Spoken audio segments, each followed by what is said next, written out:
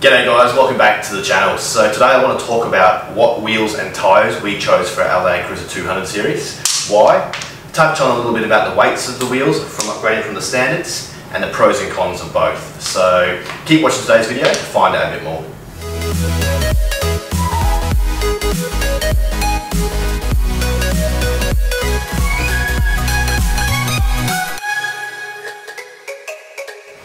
Okay guys, so we'll start with the wheels we chose. We chose the Method uh, Racing wheels.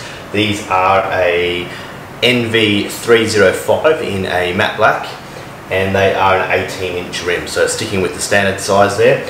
But we have gone an inch wider, so they are a 9 inch wide rim. And further to that as well, they have a positive 25 mil offset. So the cruisers come with a positive 60 mil, we've gone down to a positive 25 and it brings the tyre right out to those guards, which in my opinion makes it look a whole lot better and it allows you to fit a wider rim and wider tyre as well.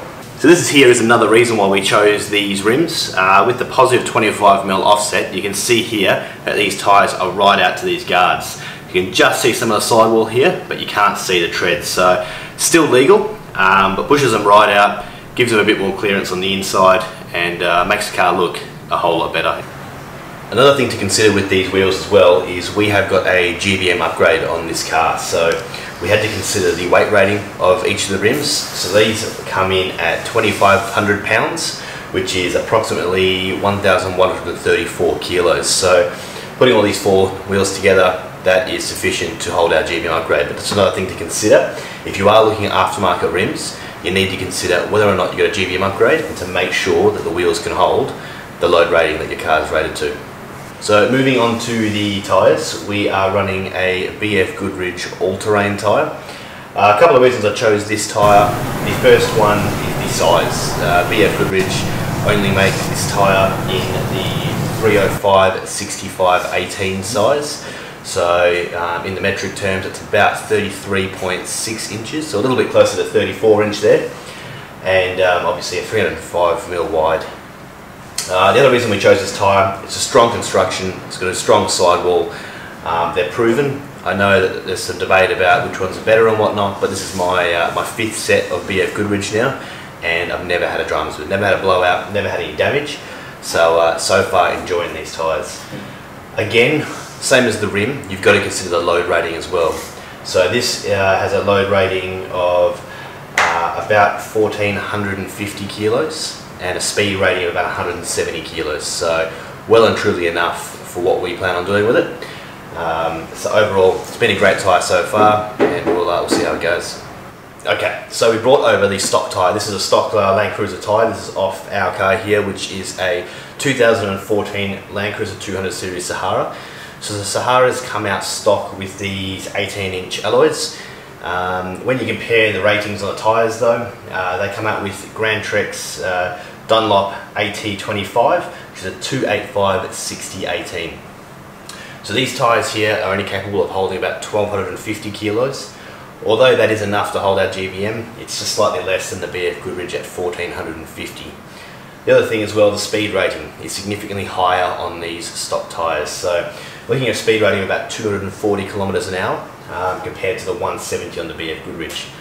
However, that's something that we don't really need in our setup. We've set this car up for touring and off-roading. We're not going to be doing 240 kilometres an hour. So um, just something to consider there. Although this tyre would be suitable for a GVM upgrade, um, we've gone for these for that robustness of an off-road tyre plus suitability for that GVM upgrade. So uh, in metric terms, when you compare the sizes here, uh, like I said before, you're looking at about a 33.6 inch tyre here. The standards are about a 31.5 um, further to that as well, what you're looking for when you're going off-roading is a decent sidewall. So the sidewall on the standard tyre here is 6.7 inches in height. When you compare that with uh, the BF Goodrich here, you're looking at 7.8 inches. So yes, we could have gone down to a 17 inch rim. However, um, we stuck with the 18s. We've still got a decent sidewall there and it's still a strong tyre. So it's going to hold up to what we throw at it. Okay, so moving on to some of the pros and cons. Um, big pro of the stock tyre is fuel. Fuel is, uh, you know, fuel consumption is always a contested issue with these cars. Uh, I've done a lot of modification to this car with weight and size and suspension and whatnot. Um, they've all increased the fuel consumption, but nothing as much as a tyre size. Putting on bigger tyres onto your vehicle will increase that fuel consumption quite significantly. Um, not only is it bigger in diameter, so it makes the car work harder to spin that tyre, but it is bigger in width as well. So you've got more contact of rubber on the road, more friction there, and again, just making that engine work a little bit harder to get the wheels spinning and keep it moving. The other uh, consideration as well is noise. Uh, so these tyres here, just with their size and their uh, tread pattern, the stock tyres are going to be a little bit quieter on the road. These BF Goodriches are really good overall. They are a well-designed tyre. Uh, they're only an all-terrain, they're not a mud terrain, so they are quite good, but there is a difference there in noise. If you went to a mud terrain, it'd be significantly noisier again, um, but overall, quite good. So even though these tyres are bigger, use more fuel and a little bit noisier, the reason we chose them is they're more suited to what we use them for. So like I said before, this car's set up for off-roading and touring. These tyres are a strong, robust tyre. They're going to get us anywhere comfortably, both on and off-road. So uh, for us, it's worth a sacrifice with the fuel and the noise, and they suit our application perfectly. So that's why we've gone for it in this case. So the last thing I wanted to touch on with these wheels here as well, a consideration that we took into account for our car were the weights as well. It's an unsprung weight, it's not a weight that you consider when you're upgrading suspension, but these wheels and tyres do add a significant amount of weight to your vehicle when you chuck them on. So when you're looking at this tyre here, uh, the wheel and tyre combo here, per tyre you're looking at about 34.2 kilos. When you compare that to this rim and tyre that we've got running here, it's 43.6 kilos. So it's a significant increase in weight, and obviously we're carrying five of them, including the spare as well. So overall, you're looking at a difference of 47 kilos just in your wheels and tyres.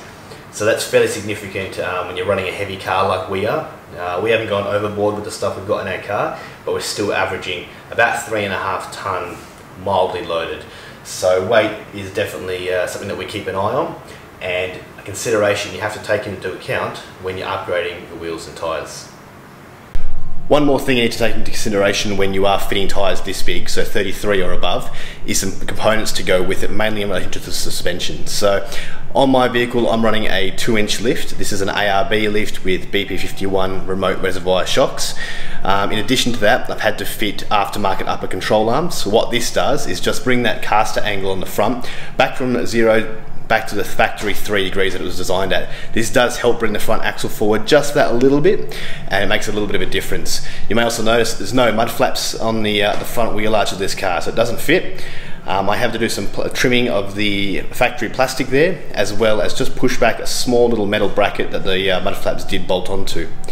Also, in addition to that, I've had to fit a rear adjustable panhard rod as well. So what that does is just push that uh, rear axle back into the center of the car again. So when you put a lift kit on these cars, you will push that rear axle a little bit. Not so much an issue if you're running with standard tyres, but when you are running with negative, uh, positive 25 offset wheels and pushed right out to the guards, they do become quite obvious when that axle moves across. So that adjustable panhard rod just brings it back to center again and makes it look factory. So uh, just a few components you might have to add to your vehicle to get it all to work. Okay, so something I probably forgot to mention before is the spare wheel. So the Land Cruiser 200s have their factory spare wheel mount underneath the rear of the car. Uh, as you can see here, with these larger tyres, they do hang down a fair amount. So it really does impede on that departure angle of the car. And it does concern me a little bit about damage to the sidewall while you're forward driving before the spares even been put onto the vehicle. So we're not running a rear bar here as you can see. Um, it's something I'm going to consider, uh, but I'm not really a fan of the rear bars. So I'll have a think about it, but for the time being it's just going to stay here, and it's just another one of those factors you have to keep in mind. Also, for those who do want to fit a tyre the same sort of size, these 305 65 they do fit into the factory spares without any modifications, so there's no issues there. Okay guys, so thanks for watching today's video on why we chose our wheels and tyres for our Land Cruiser 200. I hope you found it interesting and I hope uh, it helped you uh, take into account some of the things you need to think about when choosing a wheel and tyre upgrade for your car. So uh, thanks for watching and stay tuned for the next video. Cheers.